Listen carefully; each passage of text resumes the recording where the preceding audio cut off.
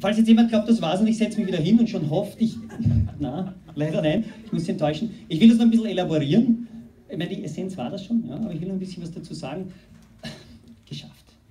Und eine kleine Fußnote noch. Es sitzen heute auch ein paar unter uns Schülerinnen und Schüler, da trifft es noch zu, die es noch nicht ganz geschafft haben, die vielleicht noch irgendwo so ein bisschen ein VWA oder ein kleines Klausurchen oder das eine oder andere Ding noch im Herbst erledigen, aber ich bin zuversichtlich, das ist praktisch geschafft. Also auch ihr seid heute hier willkommen und ihr werdet heute auch gefeiert. Nur so am Rande.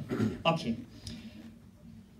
Mir kommt es nicht so vor, als wäre es gerade die letzte Maturafeier gewesen, aber ich erinnere mich trotzdem daran. Und diejenigen von Ihnen, von euch, die letztes Jahr dabei waren, sei es als Gäste oder als Lehrer oder Geschwister, wie auch immer, die erinnern sich vielleicht, dass ich gesagt habe im letzten Jahr, oh, das war ein besonderes Jahr, ein schweres Jahr, das erste Jahr Zentralmatura, im nächsten Jahr wird es viel leichter werden. Hm. Liebe Absolventinnen und Absolventen, das habe ich damals so gesagt. Naja, jetzt sitzen wir hier im zweiten Jahr. So viel leichter war es nicht. Und das hat sich schon im Jahr gezeigt. Ich will jetzt nicht eure ganzen vier Jahre Oberstufe oder fünf oder sechs oder wenn man Unterstufe denkt, viele Jahre, über die wollen wir jetzt nicht reden. Ja? Aber dieses letzte Jahr, zumindest ganz kurz, das war leider geprägt fast von einem Thema alleinig, die Mathematik. Ich muss das jetzt sagen, weil wir haben geschwitzt, wir haben investiert, wir haben geübt, wir haben gelernt. Wir haben wirklich, wirklich viel in dieses eine Fach hinein investiert. Das waren schon die Lehrer bei mir, die Kolleginnen, die Kollegen, die gesagt nur Mathe, nur Mathe. Nicht nur die Mathelehrer, die auch, aber alle von den Schülerinnen und Schülern, die bei mir will ich gar nicht reden, das hat uns wirklich mitgenommen. Aber wir haben uns dafür gedacht, so, aber wenn wir schon so reinbuttern, dem Bifi werden wir es zeigen.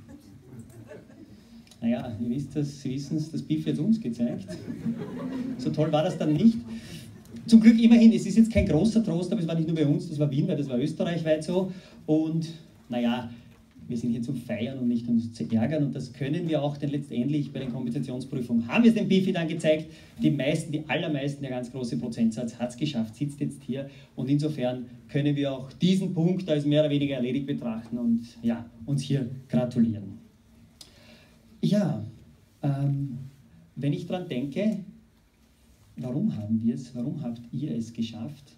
Natürlich gilt es hier an erster Stelle euren Lehrerinnen und Lehrern zu danken. Die haben euch, ich will jetzt nicht nochmal diese Jahre aufzählen, viele Jahre lang begleitet, unterstützt, gefördert, mit euch gelitten, mit euch geschwitzt, euch verflucht vielleicht, in den Hintern getreten, ich weiß nicht, die ganze Palette an Emotionen war da. Sie haben Blut geschwitzt, sie haben ja, alles mögliche geschwitzt. Sie sind mit euch einen langen Weg gegangen und es hat funktioniert. Und es hat funktioniert, weil ihr, liebe Absolventinnen und Absolventen, euch darauf eingelassen habt, das Vertrauen geschenkt habt und gemeinsam mit euren Lehrerinnen und Lehrern diesen Weg gegangen seid. Und deswegen ersuche ich jetzt vielleicht ganz kurz um ein Dankeschön für die Lehrerinnen und Lehrer.